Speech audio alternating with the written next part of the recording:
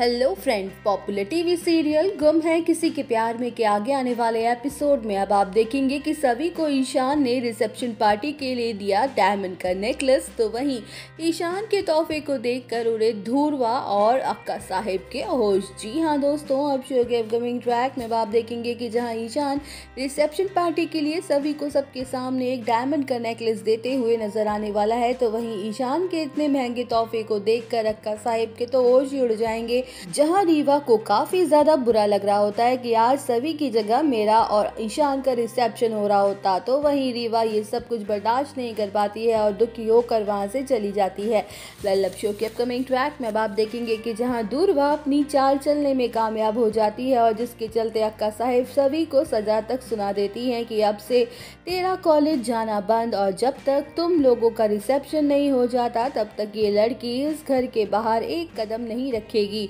जहाँ सभी बुरी तरह से शॉक्ड हो जाती है कि जबकि मैंने कोई गलती नहीं की तो मुझे सज़ा किस बात की मिल रही है? तो वहीं सभी भी अपना फैसला सुना देती है कि मेरे सपने मेरे लिए बहुत इंपॉर्टेंट है और से इसीलिए मैं किसी को हक नहीं दूँगी। मेरे सपने को कुचलने का वेल शो के अपकमिंग ट्रैक में आप देखेंगे कि जहाँ सभी गुस्से में अपने कमरे में आ जाती है तो वहीं ईशान सभी को समझाने की कोशिश करता है और कहता है कि सभी तुम्हें बड़ों की बात माननी चाहिए अक्का साहेब इस घर की बड़ी हैं। अगर वो कह रही हैं कि तुम कॉलेज मत जाओ तो तुम रिसेप्शन तक मत जाओ ना, जहाँ ईशान की बातें सुन के सभी को तगड़ा झटका लगता है और वो कह देती है कि मुझे आपसे ये उम्मीद नहीं थी ईशान सर। ये तो आप भी जानते हैं कि मेरे लिए मेरे आई बाबा का ये सपना पूरा करना है और यही मेरी लाइफ का मोटो है और मुझे आपसे पूरी उम्मीद थी कि आप मेरे लिए स्टैंड लोगे, लेकिन आप तो उल्टा मुझे ही समझाने आ गए। तो वहीं दोस्तों, अब रिसेप्शन पार्टी में कौन सा बड़ा धमाल होता है, ये जानने के लिए बने रहिए हमारे साथ। वीडियो को लाइक और चैनल को सब्सक्राइब करना ना भूलें।